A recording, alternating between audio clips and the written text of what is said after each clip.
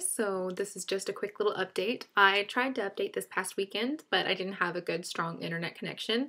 I went a traveling, so I wasn't around to do any kind of book post, which was just as well because I didn't actually finish anything. Um, but I started, I I've started too much. I don't normally do the whole uh, read numerous books at the same time thing, but uh, I think I, I think I went a little overboard.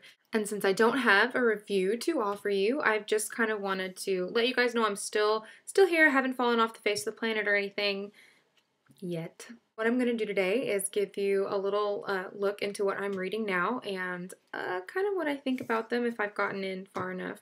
So the first one is Charlaine Harris's uh, Three Bedrooms, One Corpse. I am not very far into this one. I've actually only gotten to page 25. I'm, I'm having a hard time getting into the series. I love the Sookie Stackhouse series, but this one just isn't as interesting. Um, it's okay, and it gets really fun. Most of her books get really fun about like this part, like right at the very end, and then they and then they're over. Uh, it's getting to that part that's the issue. So then I have Scarlet, and I'm on page 67 of this one. Um, this one, uh, I loved Cinder, and I'm liking still the whole world that uh, Miss Meyer has created with the second book, Scarlet, uh, the fairy tale twist on Little Red Riding Hood. But I'm not impressed. I'm not as impressed as I was with the first book, and maybe that's inevitable since, you know, the first book that was so new. Um, and it's been such a long time since I've read. It's been exactly a year since I read the first one, so I'm hoping it'll it'll pick up and get more interesting. Then I have Unspoken here, and I am halfway through. I'm halfway through this one, and um, I don't like it, but I'm gonna I'm gonna finish it. I will. So that's why I keep kind of putting this one down because it's just it's just not my cup of tea.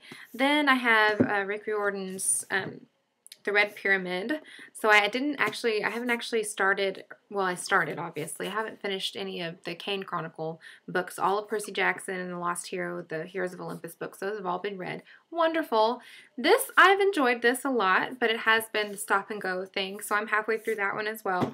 And then the last one, The Pleasures of Men by Kate Williams. I started this one, I'm only finished with one chapter. I loved it, and that is what I'm actually reading right now uh, at this moment. So that kind of gives you an idea of all the mess that I've picked up for myself to to read, kind of just an amalgamation of blah. Uh, that's it. Not a whole lot going on here on the reading front, other than I've made a huge mess. Uh, but next time will be a review. I promise to finish one of these books real soon, and then uh, and then you'll see me around again doing the book review thing.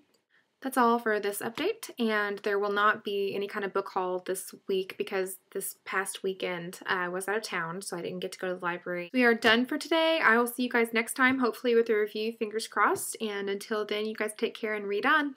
Bye!